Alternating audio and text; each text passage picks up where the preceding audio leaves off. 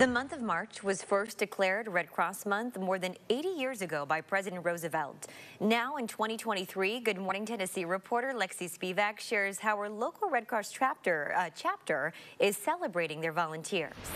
Hey, good morning, Allison. The executive director of the East Tennessee chapter of the American Red Cross tells me this month is, an amazing time to celebrate the work that goes on behind the scenes on some of people's worst days. Now, Sharon Hudson says the Red Cross responds to more than 60,000 disasters every day across the nation. She also shares that the majority of those are house fires. That's one reason Hudson says it's so important to have enough volunteers to help people in need. She talks about how those volunteers are really trained trained in a special way to help people get back on their feet?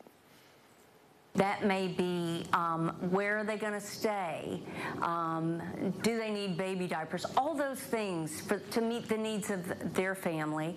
And we provide that financial assistance.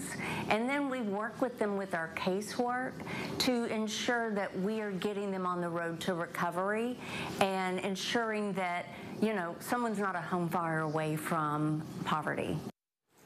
And Hudson wanted to also share that there is an event next month in Blount County. It's the Sound the Alarm event. It's going to be on Saturday, April 1st from 9 in the morning to 1 o'clock that afternoon. You can visit redcross.org to learn more. Now, coming up in about 30 minutes, more on some of their larger efforts and the Red Cross's work with military families and also their work overseas. Back over to you.